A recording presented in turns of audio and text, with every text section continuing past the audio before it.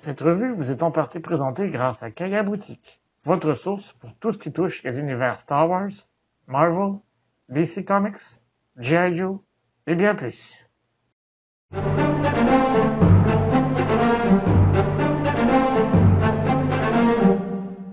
Bonjour les Jedi et bienvenue sur Star Wars Artefact.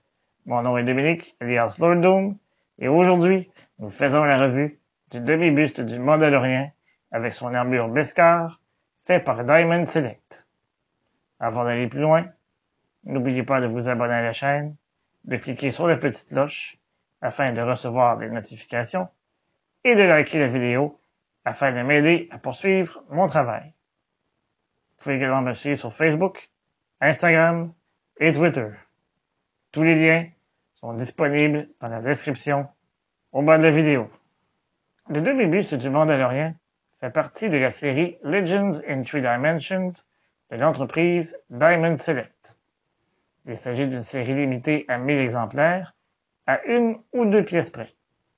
Chaque buste se vend entre 200 et 250 dollars canadiens ou entre 135 et 170 euros. Sans plus tarder, procédons à la revue. Commençons tout d'abord par regarder la boîte d'un peu plus près. À l'avant, on y retrouve une photo du buste en question. Tout juste en dessous, l'écriture dorée indique The Mandalorian, Beskar Armor, Half Scale Resin Bust. Dans le coin supérieur gauche, on retrouve le logo de Star Wars et dans le coin supérieur droit, on peut y lire qu'il s'agit d'une pièce de collection pour adultes et qu'il ne s'agit pas d'un jouet. Les côtés gauche et droit sont identiques et très peu détaillés. On y retrouve le logo de la série Legends in Three Dimensions et on peut y lire à nouveau The Mandalorian, Beskar Armor, Half Scale, Resin Bust. À l'arrière, on y voit le logo de Star Wars et au centre, on y retrouve un texte dont la traduction va comme suit. Son corps est protégé d'une armure en Beskar. Son visage est dissimulé derrière un masque avec une visière hantée, et son passé est mystérieux. Personne ne connaît vraiment l'identité de cet étranger. Ce Mandalorien, usé par la guerre et peu bavard, est un chasseur de primes extraordinaire dans une galaxie de plus en plus dangereuse. Comme il est indiqué sur la boîte, le buste est fait de résine. Il mesure 27 cm de haut, a une largeur d'épaule d'un peu plus de 29 cm et une profondeur d'environ 14 cm. Son poids est de 2,7 kg. Il a été conçu par Joe Allard et sculpté par Joe Mena. Le casque du Mandalorien est très bien sculpté. Tous les détails s'y retrouvent à l'exception des petites traces de rouille situées tout juste au-dessus de sa visière. À l'arrière, on y retrouve la trappe d'aération.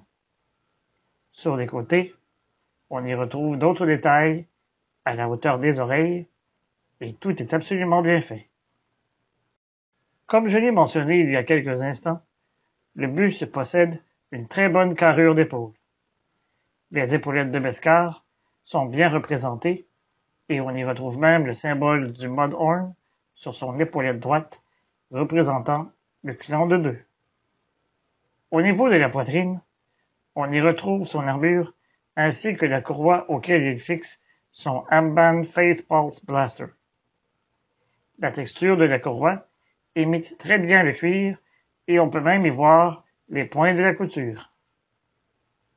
On peut y voir des détails similaires au niveau de la nuque du personnage. Comme pour toutes les textures de tissu, la cape est extrêmement bien sculptée. Le travail qui y est apporté est vraiment impressionnant. Comme pour tous les bustes de cette collection, le socle abonde de détails. Dans ce cas-ci, il nous rappelle grandement le Razor Quest, piloté par le Mandalorien lors des deux premières saisons. Sous la base, on y retrouve le copyright, le nom du fabricant, l'endroit où il a été conçu, ainsi que le numéro de l'exemplaire.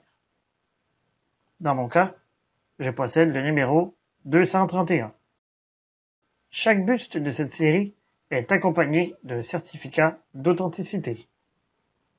Sur le certificat, on y retrouve une fois de plus le numéro de l'exemplaire. Le buste du Mandalorien est le premier buste que je me suis procuré dans la série Legends in Three Dimensions. C'est en grande partie à cause de ce buste que j'ai décidé de faire la collection de cette série.